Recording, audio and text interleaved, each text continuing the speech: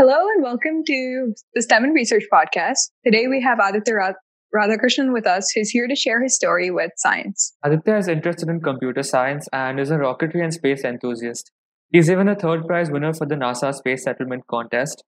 He's a two time Grand Award winner at the IRIS National Fair and thereby a two time ISEF finalist. At ISEF 2019, he won both a special award and a Grand Award. He is also a regional finalist for the Google Science Fair uh, 2019. Hi, Aditya. Thanks for being here. Hi, thanks for having me. Okay, so let's get started. Um, how did you first get involved with research? So, uh, I've been interested in science for a very long time. Uh, it started with an interest in space exploration and uh, then gradually transitioned to a hybrid of that and computer science. I guess that started when I uh, when my friend got the Lego Mindstorms kit. It's a Lego kit where you can make robots, and uh, he got that for Christmas, and I found out about it, and I got really excited and started to learn how to code and do things like that. And uh, what really interested me about robotics was making intelligent computers, making computers do smart things, essentially the field of artificial intelligence. And uh, so I transitioned from robotics to artificial intelligence, and that's kind of how I got involved in that sort of stuff in at the start of high school. And because of that, uh, I was just interested in these problems. And out of sheer luck, I guess, I found um, interesting problems in other fields that could easily be solved using artificial intelligence. And uh, in my attempts to solve these problems in other fields, I ended up doing a lot of research. Okay. So, what are the fields you're most passionate about? Like, what, what do you currently think you're going to do with your future and your, and your life, I suppose? So, uh, one thing though, I switch interests pretty often, but I think uh, probably for at least college, I'd uh, be focusing on computer science, but in particular, I'd be focusing on artificial intelligence because that's really the part of computer science that excites me the most, making smart computers that can do really exciting, intelligent things. Forgot one thing. Uh, besides computer science, I also really like space. Uh, that was my first interest. And uh, I don't plan on pursuing that professionally, but it's certainly a hobby of mine. And I do like having both the fields interact and uh, interlap. I mean, overlap. Oh my gosh. Okay. Yeah. Yeah. Yeah. That's really cool. Um, I think one of your major projects was Zolobot. So let's talk about it. Uh, could you perhaps go ahead and tell us what exactly is it? So uh, that project started when I, uh, in a happenstance meeting, met Dr. Sanjay Molur. It was just him with a bunch of other school students, and he was talking about a bunch of different interesting things. So I live in Coimbatore, and uh, Coimbatore is surrounded on many sides by the Western Ghats. Uh, and because of that, you have a lot of naturalists living in Coimbatore who are doing very exciting work in the Western Ghats, and he was one of them. So, uh, in his talk, he was uh, describing this problem he faced in conservation, where there was no effective way to identify species, people like himself or forest officers, found in the wild. So, if they see say some animal in the wild, they need to know what animal that is. This is important for many reasons. It's important for preventing poaching, preventing trafficking, uh, analyzing diversity in the area, a bunch of different things. It's a really important fundamental thing you need to be able to do. And what he was saying was this was a massive problem because uh, the only approaches were either uh, perform a really expensive and time consuming DNA test so you'll have to take a tissue sample. Sometimes you need to injure the plant or animal. You need to ship it over to the lab, wait weeks or months, and then you finally get the DNA test result. And by that time, it's often useless. Um, but you get the idea. It's expensive and it takes time. This and the second option that uh, he pointed out was to hire an expert who can use who can identify morphological features like they can look at that species and tell you this is so and so butterfly or whatever. Uh, but there aren't that many experts who are capable of analy- of um, uh, identifying the diversity of species in the western ghats for example. So that's really not a practical solution. And this problem isn't unique to india. Uh, this problem is faced in many other biodiversity hotspots I mean, hotspots. So, uh, what immediately occurred to me was that artificial intelligence could be applied here, in particular, deep learning um, uh, to solve a computer vision problem. So, essentially, what I thought was you could use a deep neural network to identify images of species which, um, if you're familiar with deep learning, it sounds like a pretty straightforward problem. I mean, straightforward deep learning problem. And that's what I thought. So uh, I told him about it. He didn't really know what deep learning was. And so after that meeting, I went home, worked on it a bit, and uh, created a simple demo application to show him that, hey, if you want to do this, this can be done really easily. And I used simple transfer learning and I created a network, created a simple front end app, and I showed it to him. And he was really excited because this could help him a lot. Uh, but then he pointed out something really interesting to me. And uh, what happened was he opened up a catalog of butterfly species he was actively researching. And I pointed to one and asked him how many images of that species he had. And considering he was actively researching these particular species, I expected him to say like a hundred. He told me that only one image has been taken of that species in human history. And if you're familiar with uh, how uh, machine learning or deep learning works, you would immediately see that's a very big problem. Um, machines, machine learning techniques need a lot of data to learn from, and if you don't have that data, they don't uh, they don't do what's called generalization. And if they don't generalize, they're not able to perform any useful identification. You need a lot of data. And uh, so after that, I kind of decided that it was impossible to solve.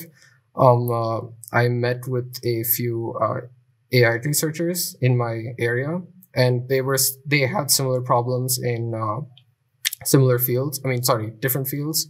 Uh, these were industry uh, experts and researchers. They pointed out a couple solutions like Siamese networks or memory augmented neural networks. These are what you'd call one shot learning techniques. So one shot means one sample. Um, uh, and the thing is, none of these techniques work well because they couldn't generalize well.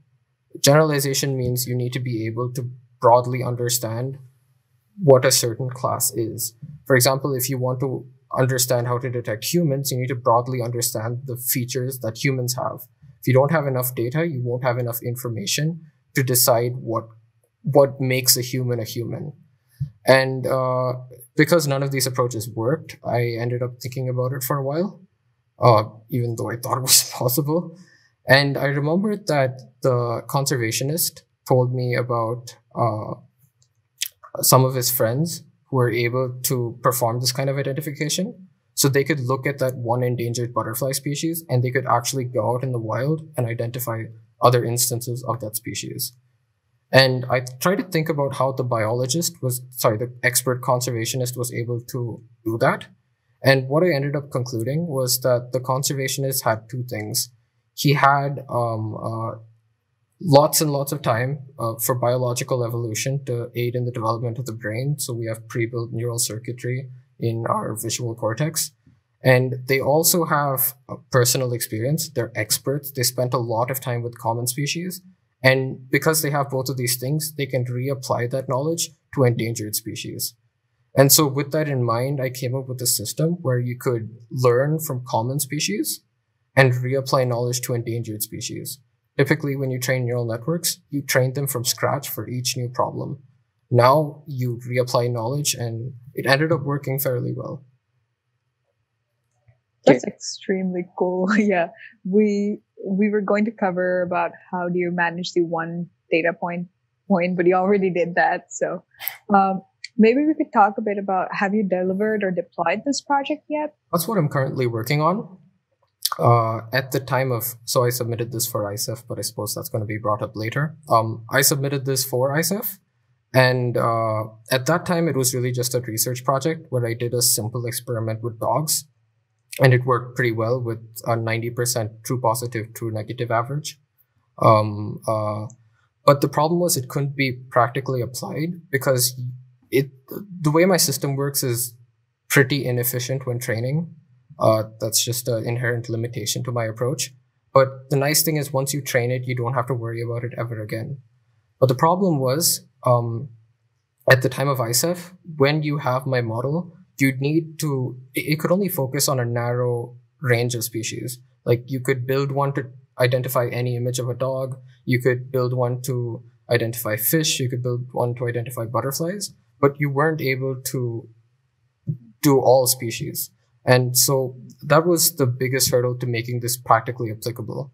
Right now, I've been working on building a universal hyper network and I've had some fair amount of success.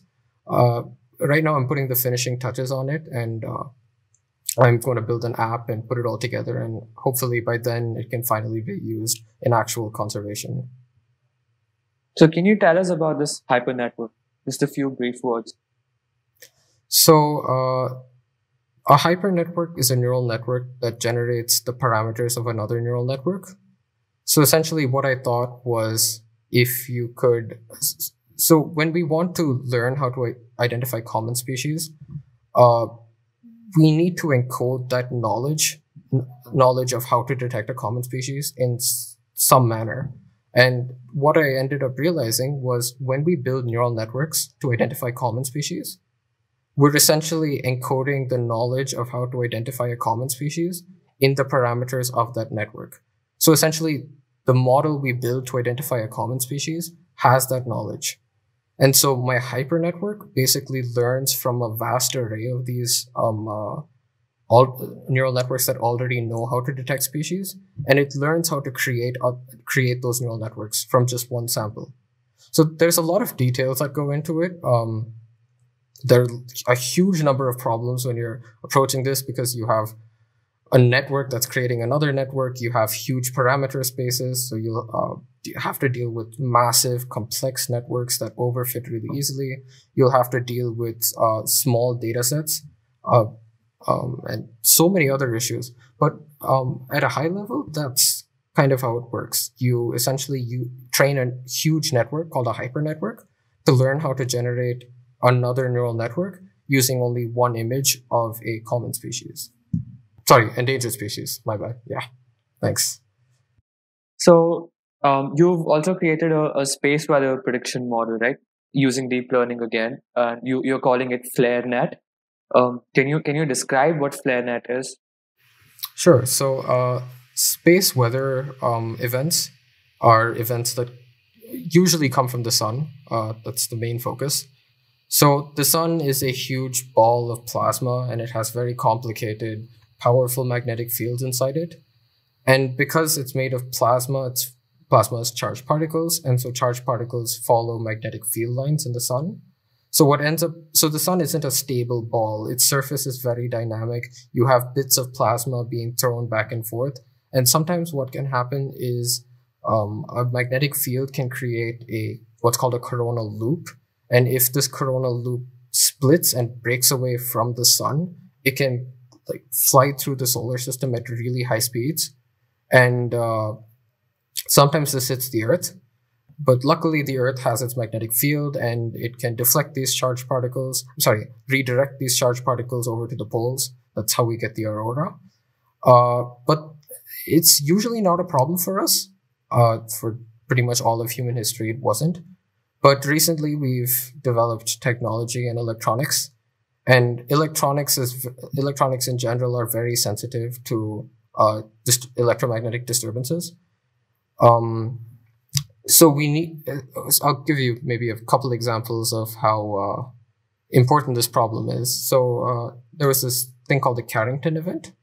I I don't really remember when it happened, but back then we only had the telegraph, and the Carrington event was massive uh, so massive that it completely shut down the entire telegraph net, most of the telegraph networks in the world. If you, if something like that happened now, it would be disastrous. It would cause trillions of dollars in damages. It would um, shut down electrical grids. It would uh, halt emergency services. We won't be able to communicate because radio waves would be jammed. Uh, the, the entire radio spectrum would be completely flooded, so we won't be able to communicate via radio. Uh, pretty much anything that runs on electricity could be affected in some form. And uh, if such a thing happened, it would take decades to possibly decades to recover from. Uh, now, people might think this could be a this would this is a kind of one-off thing.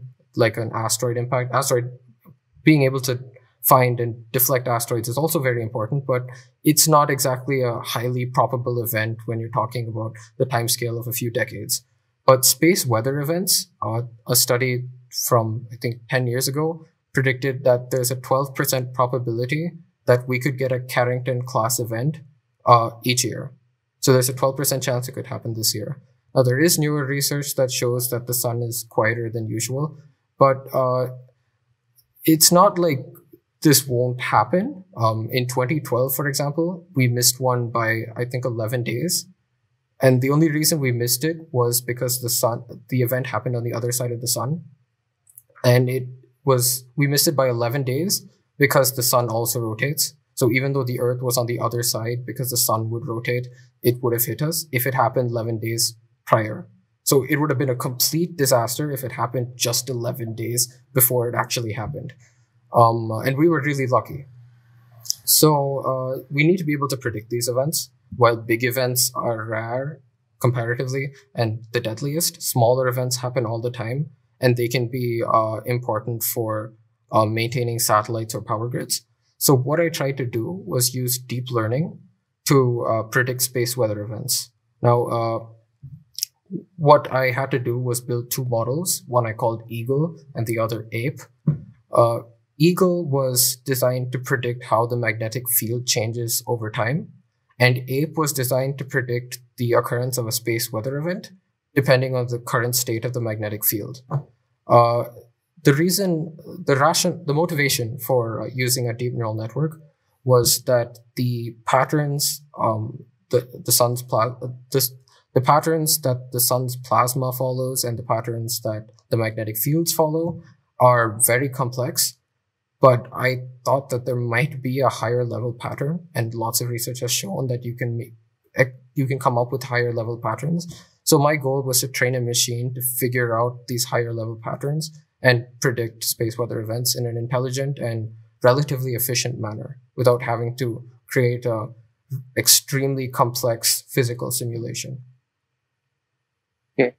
So like uh, what neural network did you use? Can you describe the neural network you used for this uh, deep learning model? Sure. So uh, ape which was the neural network that could predict a space weather event depending on the current state of the sun's magnetic field is just a pretty straightforward convolutional neural network. Uh, what it does is it uses an image of the sun's magnetic fields. It's called a magnetogram. So uh, if i remember this correctly places where the sun's magnetic field goes out uh, where the field lines go out, the there's a white patch on the sun, and where field lines go in, there's a black patch on the sun. So you can kind of visualize the sun's magnetic field using this diagram. So uh, what I did was I trained this convolutional neural network, APE, to predict uh, what's called X-ray flux. Um, X-ray flux is how you measure the magnitude of a space weather event and it predicts this X-ray flux using that magnetogram image, that image of the magnetic field of the sun. So that's ape. Then there's eagle. Now the problem with ape is uh, it could only perform predictions 24 hours in advance. So if you wanted to go further, you'd need magnetograms that don't exist yet. So what I did and what I did to solve that problem was I created Eagle.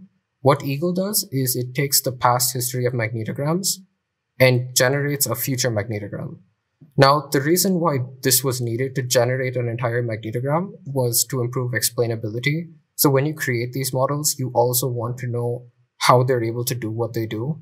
Well, I can't say that this model has the greatest explain, I mean, a very good explainability.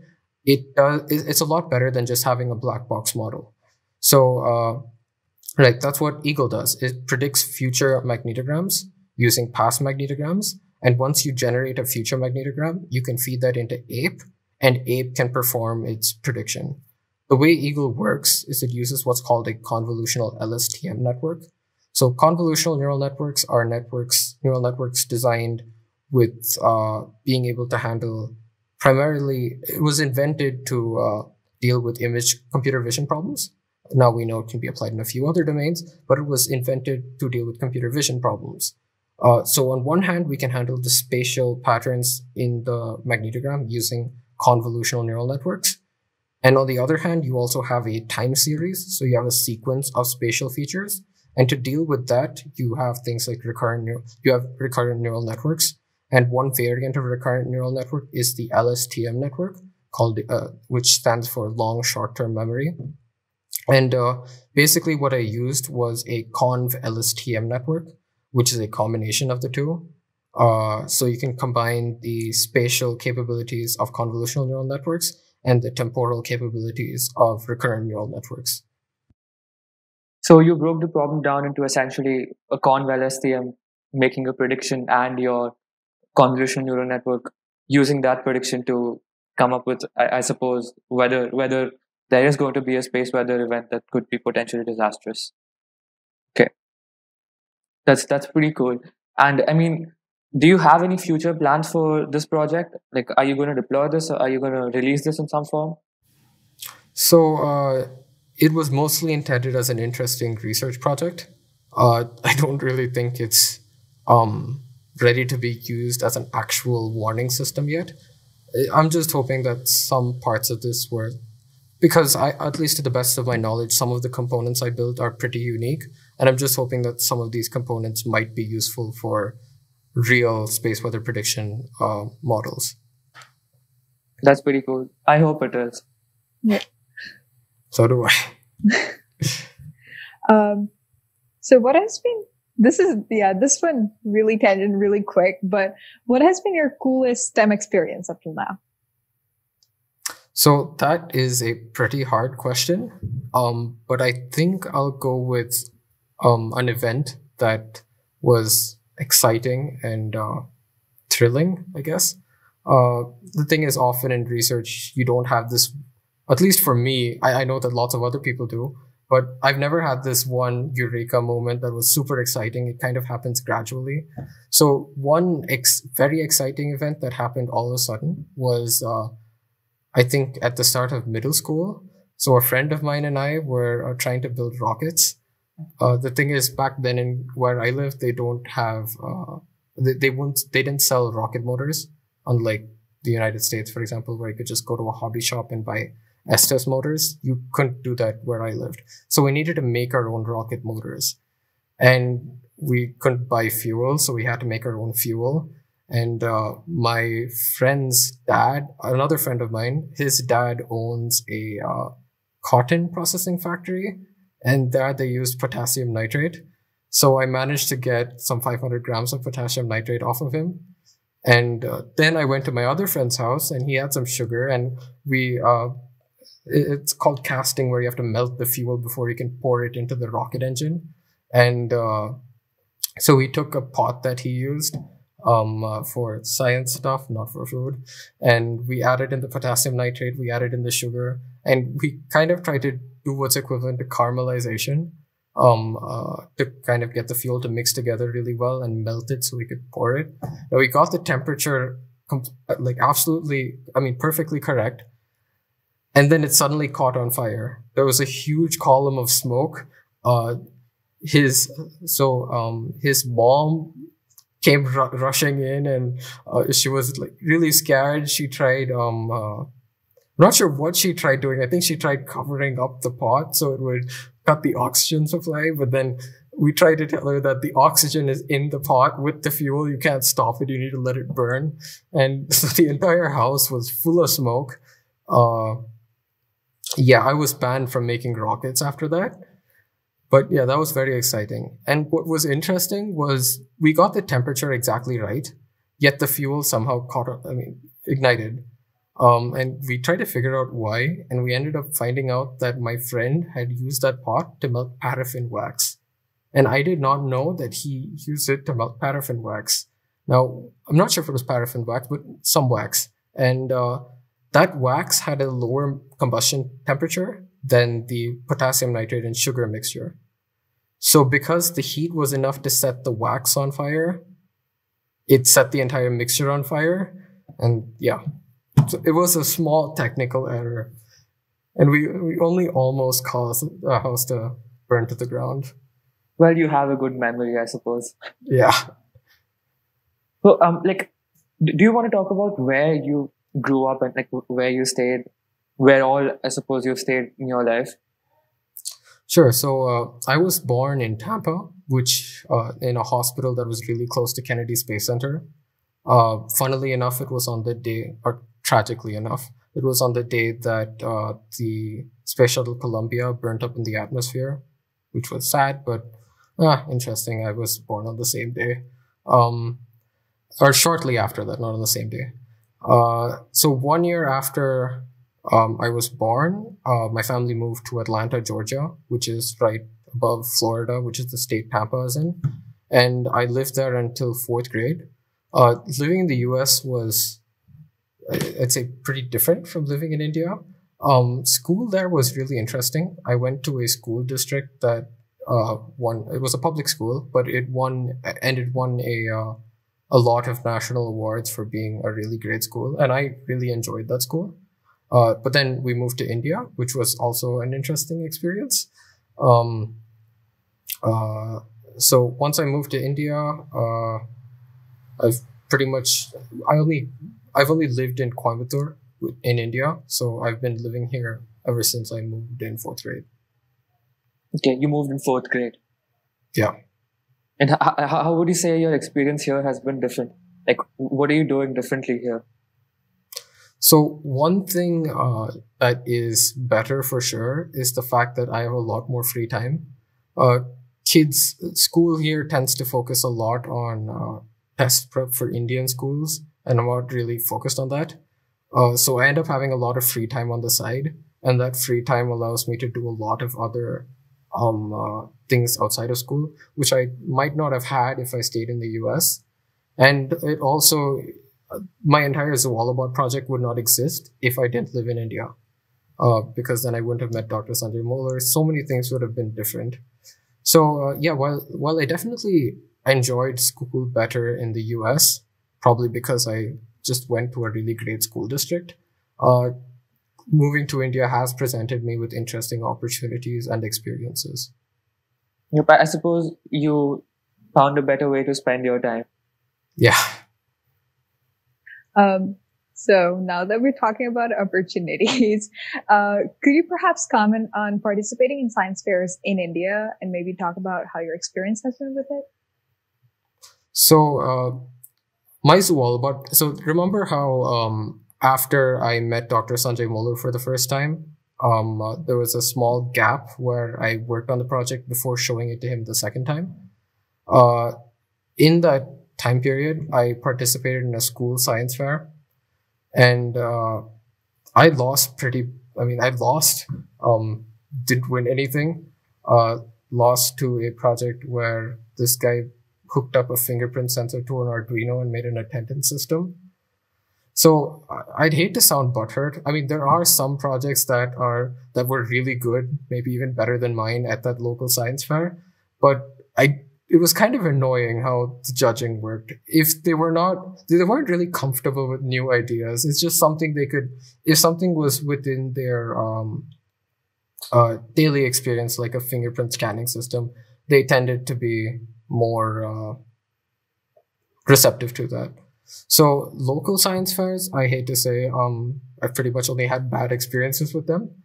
Uh, but then Iris came along I did not know Iris existed for a long time. Um, uh, I was not really, I was never really interested in participating in contests. I just liked doing fun stuff.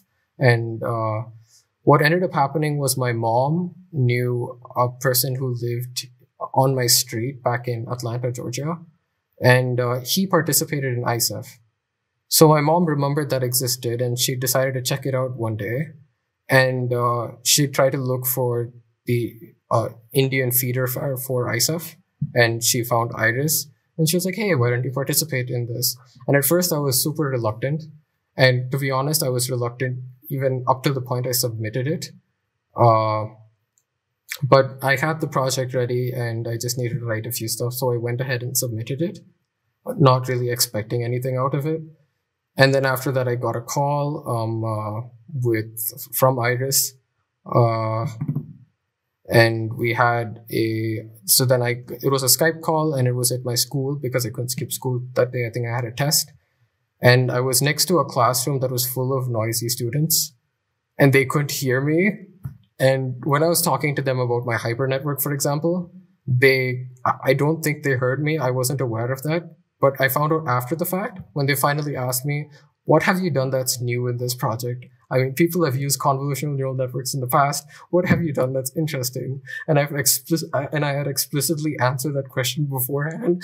I was like, oh crap! Like uh, everything I said, I'm sure they didn't hear it because of the noisy classroom nearby and also bad uh, a bad network connection. So at that point, I was pretty much expecting not to get selected. Uh, so it came as a bit of a surprise when I got the email that I was selected to be. Wasn't sure if it was an email or a Twitter post, but it was one of those two things. And uh, I found out I was selected. Then went to IRIS, which is the national level fair for India that feeds to ISEF. And at IRIS, um, uh, a lot of interesting things happened. Uh, I was with two roommates. Um, one of them, it was very interesting. One of them uh, one uh, got selected for ISEF that year, and the other one participated in IRIS this year in the 2019 IRIS, and he got selected for ISEF this year. So all three of the people in that room got selected for ISEF, which uh, I guess that was a bit of a spoiler alert. I mean, a spoiler. Uh, right, and then after that, uh, we had judging. I was also not expecting to win after judging. Uh, the first two judges were not the most receptive, and the last one went. I kind of gave up, and uh, I was like, "What the heck?" And I just went with the last one, and that ended up going really well. Uh, after that, we had the special awards ceremony, and because we don't have special awards judges, I and I didn't win any special awards. I kind of expected not to win a grand award either. And then voila, another surprise, I won the grand award the next day. So then I remember walking up the stage and I was like, this is cool. And then I went down. I, okay, that, that's a bit of a, I mean, definitely an understatement, but I was excited and I went down and asked this other guy next to me, Hey, does this mean we get selected for ISEF? And he's like nodding his head. And I was like, yeah. And so that was really nice. Um, uh, right. And then after that, ISEF came. Uh, I wasn't really mentally prepared for ISEF. Um, so it was just like, I would typically for these kinds of contests, I'd be like, okay, we have ISEF in one week, and uh, um, I'd be mentally preparing myself for like the flight over to the um, uh, science fair. But this time, uh, I, I don't know, I just kind of uh, it didn't really register in my brain. And then one fine day, I'm like, uh, my mom is like, "Do you want to pack your suitcase?"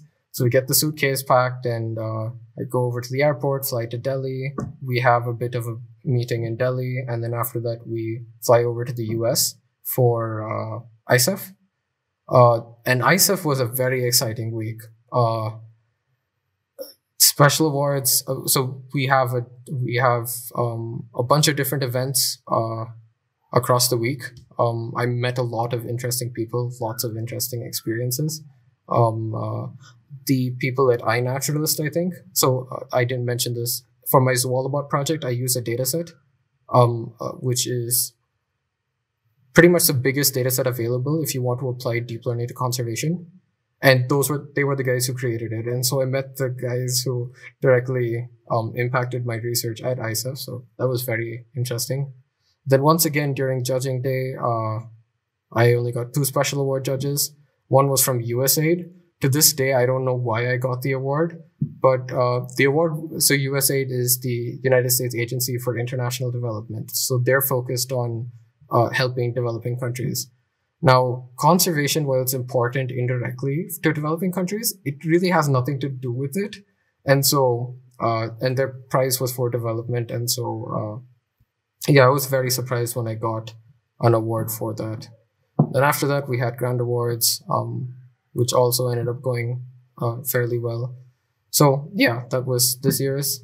And then after that, I wanted to participate in Iris again because ISEF was so much fun that year. Uh, and I participated with my Solar Flare project, the FlareNet project. And once again, got selected for Iris and then got selected for ISEF again somehow. Uh, but then unfortunately, it was canceled because of COVID 19. But yeah, we had a lot of interesting things instead virtually. Yeah, um, I mean that's how the three of us know each other, and Yeah. I'm pretty positive that it was a pretty fun experience. Mhm. So, how did ISEF impact your outlook on life? Uh, how did it affect the trajectory that you were on?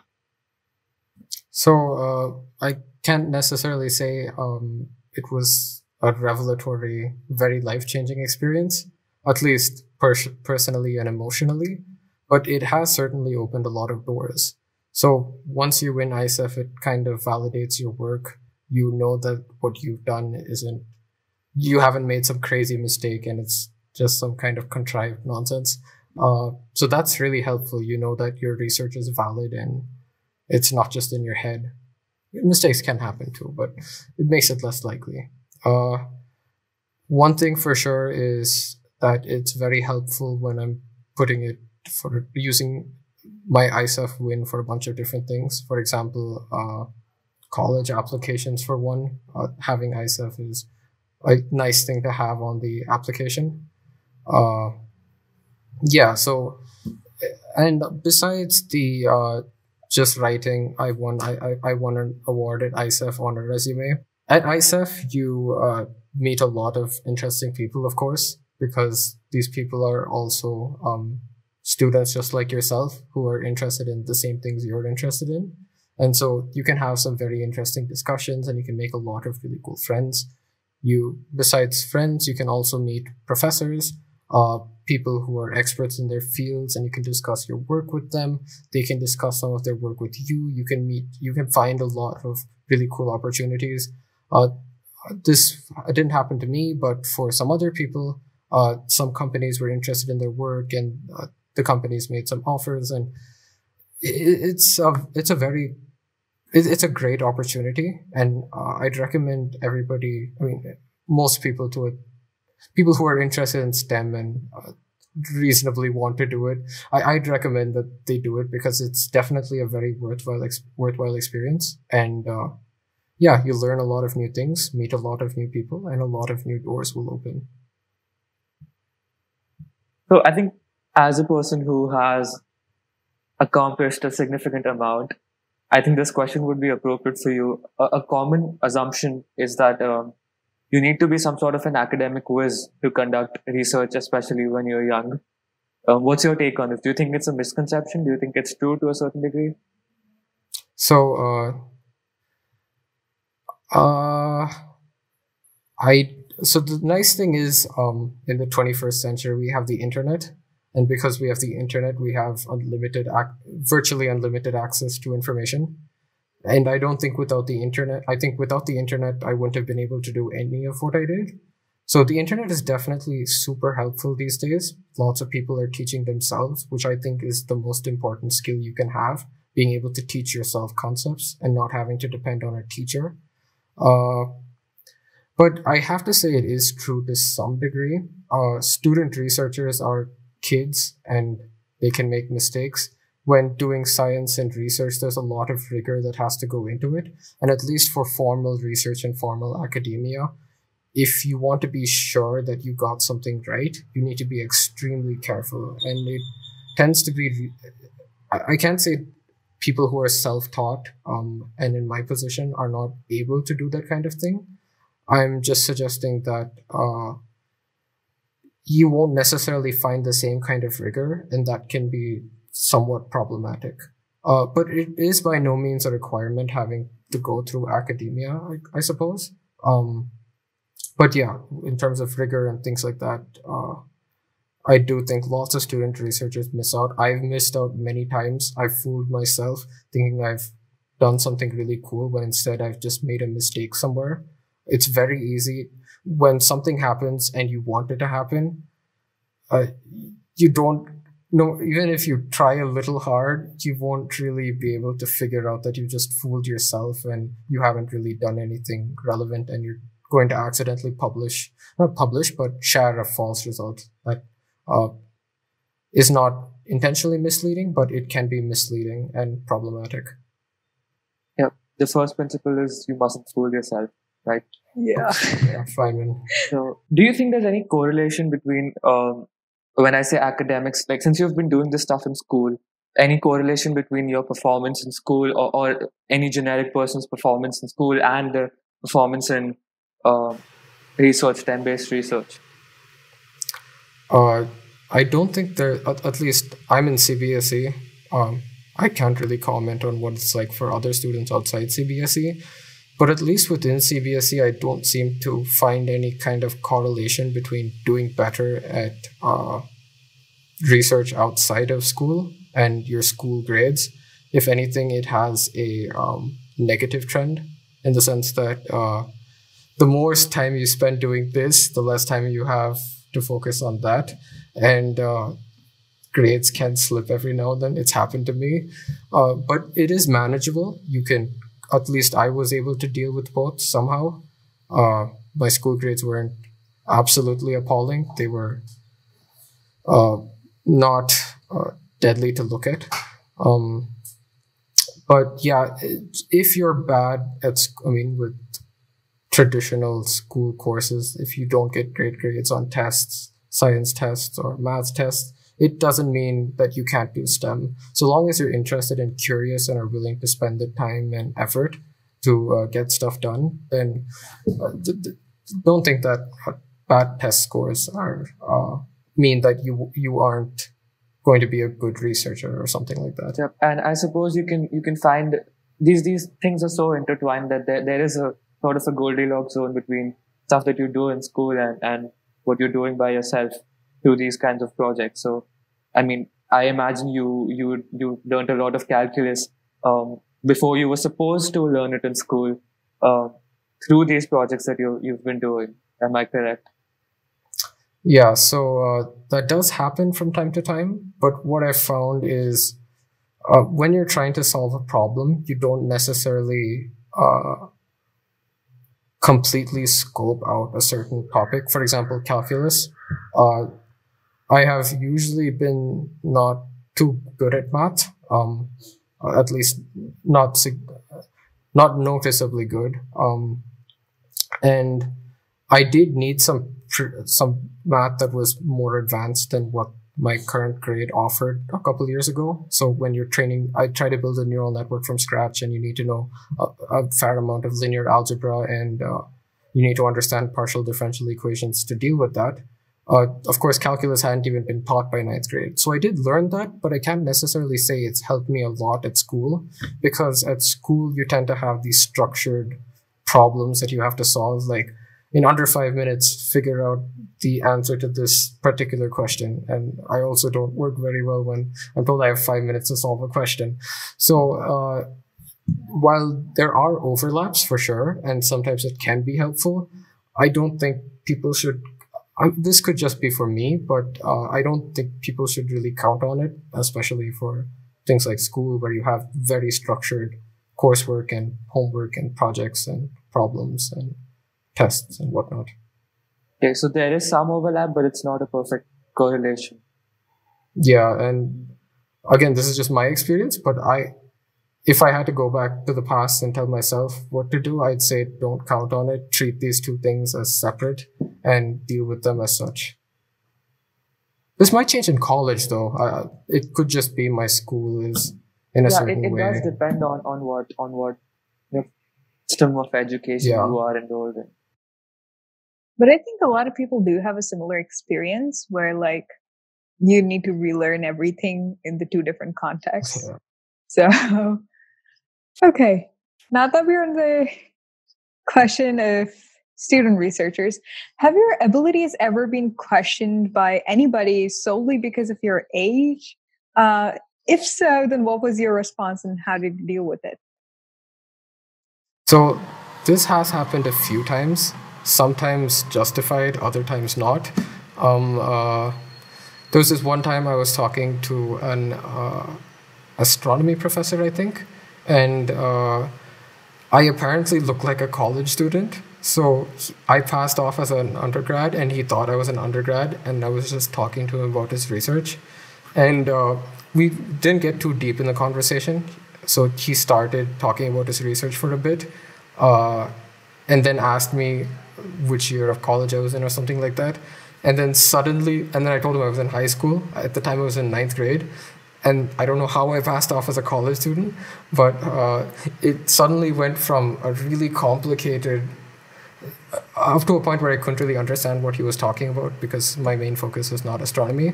But he went from a super high level to a super low level where he was like explaining the most basic things ever. What I have found is that a lot of people are more helpful than you think. Sometimes professors just don't want to deal with school, school students, but a lot of professors at the same time do, and they're willing to spend a little bit of time with you to help you out. Uh, sometimes it happens the other way where they expect too much of me and I'm not able to deliver. Uh, let's see, there was this one other time I wanted to bring up. Uh, then there's uh, some contests uh, meant for college students in my locality, and I participate in these contests like hackathons. And uh, I know for a fact that one time uh, a judge explicitly did not select me for the final round because he did not think it was practically possible for a high school student to finish that amount of work in so little time. And so it does have negative impacts every now and then. Uh, yeah, I tend to avoid telling people what grade I'm in, um, especially in these contexts, because that only makes stuff worse most of the time. Uh, but yeah, if I'm trapped in a corner, I sometimes have to say I'm in high school. A lot of people are uh, very accommodative and they will um, they won't underestimate your abilities and they won't overestimate it either. So it really depends on the context. Sometimes it can be bad, sometimes it can be good. Uh, but yeah, generally I say that it's better not to reveal that you're a high school student for most purposes. True. But then if you're suppose uh, approaching a professor, it's presumably you are going to mention that. In that case, how do you deal with it? So, uh, I haven't had too many experiences, but generally I'd say um, kind of demonstrate that you have some level of understanding. And then once it's clear that you have that you're not a complete noob and uh, you know a little bit about a topic, then the professors will uh, they won't mind if you're in high school and they won't drag the expectation down to rock bottom. Mm-hmm. Do you have any advice in approaching professors? So, uh, for me, I so so when I meet before I meet professors, I like get really nervous uh, and I'm like super worried. So, uh, oftentimes I just say, "What the heck?" If I you know embarrass myself, they're just going to forget about it in two days because their life has far more exciting and eventful stuff going on. So just approach them, ask them about their research, things like that. Um, try to uh, try to make sure they don't hate you and uh, don't annoy them too much. But uh, yeah, try, to talk to them, and uh, once they tell you about their research, you can tell them about yours, and uh, then if the topic of you're a high school student, I mean, the topic of your status as a high school student is brought up, let it be brought up. So yeah uh, don't worry too much about embarrassing yourself, I guess, because these professors do a lot of interesting stuff and they're probably just going to forget about it.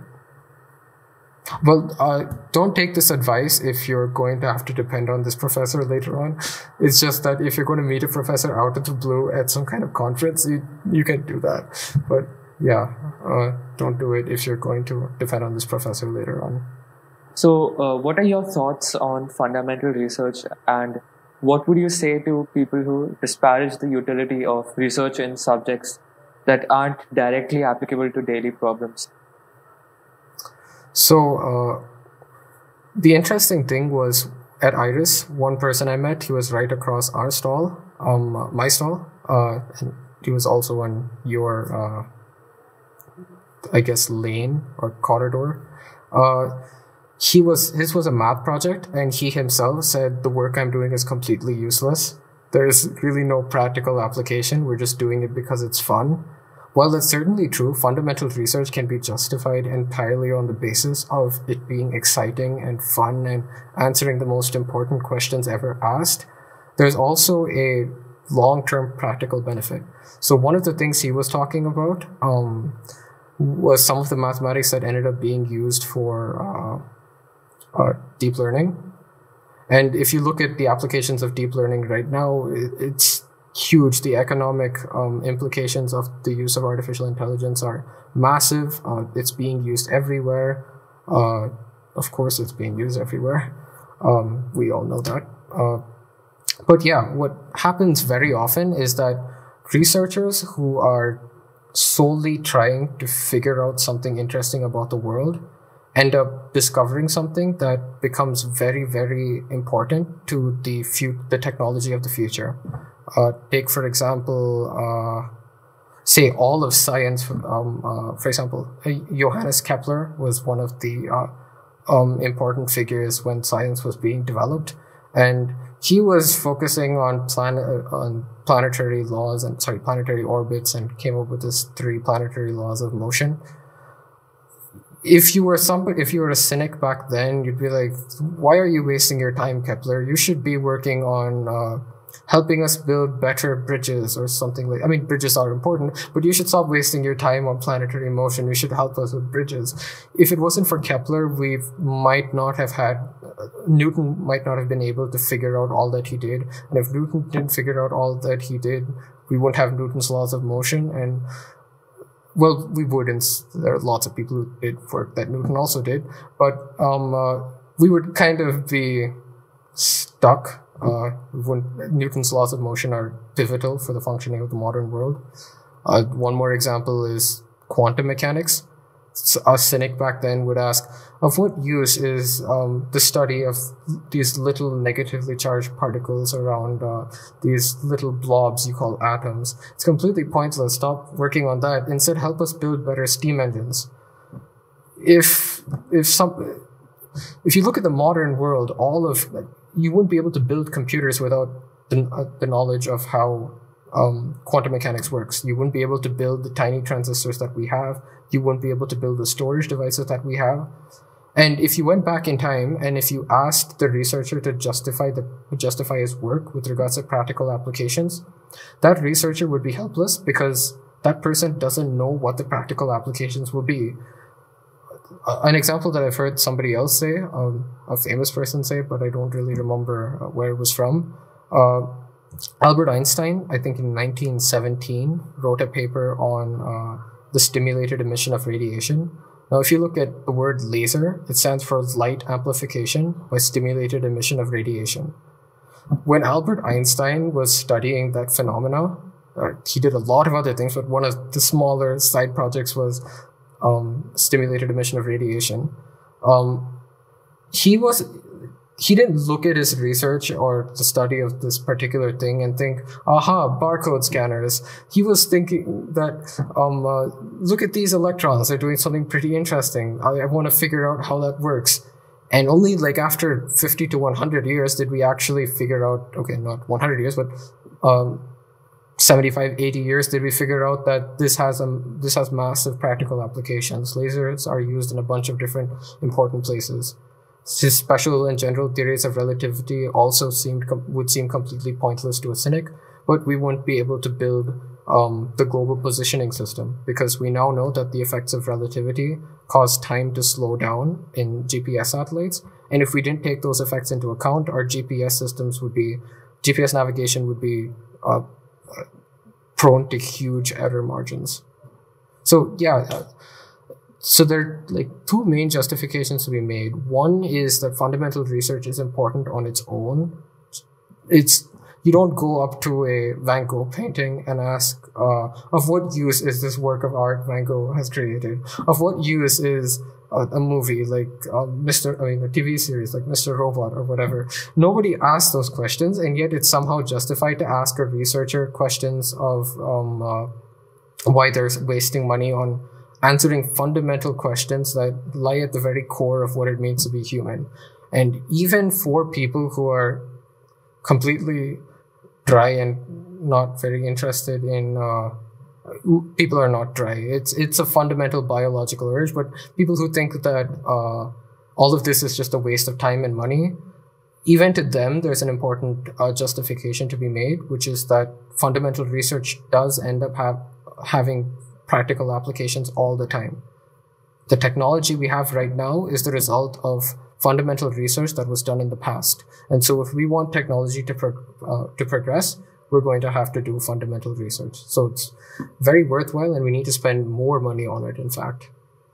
Yeah. So I think it depends. The, the answer to the question that asked I asked you depends on who I'm asking it to. Because if you're asking some sort of government employee who's in charge of, uh, I don't know, uh, granting money to all of these research projects, um, they would probably be a bit more cynical than someone who's doing it because you don't do it thinking about what application your work is going to have. Um, I think it was G.H. Hardy who said that you do it because it's fun especially mathematics, which is something so obscure from reality. You, you don't do it because you think someone else is going to benefit from it. You do it because you want to, and you do it because you can. So, I mean, I think I'm fundamental sure research eventually, Mhm. I mean, eventually it does end up having a lot of practical applications after a long time. Um, but I think humans as a species don't have that kind of delayed gratification thinking all the time. Um, I mean, I, I, to you in a previous conversation. How it works is basically we decide to do something because of like innate curiosity or like yeah. And then we try and attach a reason as to why we're doing this. So Yeah, and I, I mean, I would say both of us are saying that you don't really need to justify why you're doing something. You just should be doing it. you just do it because you like to do it. Yeah. And uh, what I wanted to point out then was I'm not 100% sure, but I think G.H. Hardy's work was very important to the development of cryptography later on. And if we didn't have cryptography in the modern world, that would be a complete disaster. So even he who said that it was his work was probably. Mhm. I, I, I think he also said that his work is completely useless and it will never be used for any practical application. And voila, we have the we have cryptography. We have one final question for you. Um, do you have any advice for young people who are just getting started with research and STEM in general?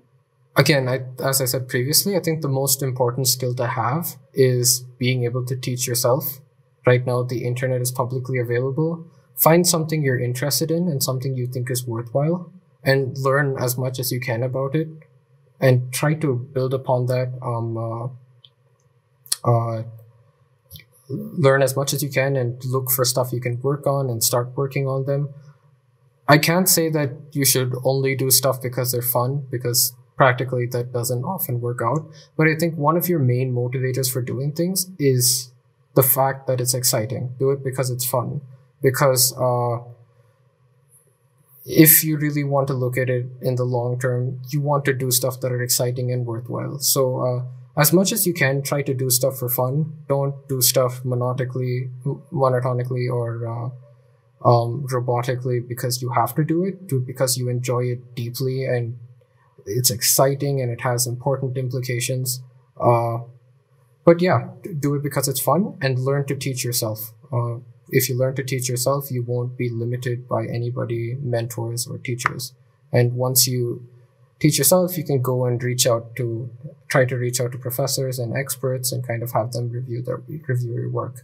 And there's also with the whole talk about science fairs, you also have a lot of opportunities to share your work and actually uh, get practical results for the research that you've done. So there are science fairs and a huge number of opportunities for students like us, uh, students like us who are trying to do research for fun. So with that, we are at the end of this interview. Thank you, Aditya, for joining us today. Uh, thank you for having me. And thank you to the audience for tuning in. Uh, we'll see you in our future episodes.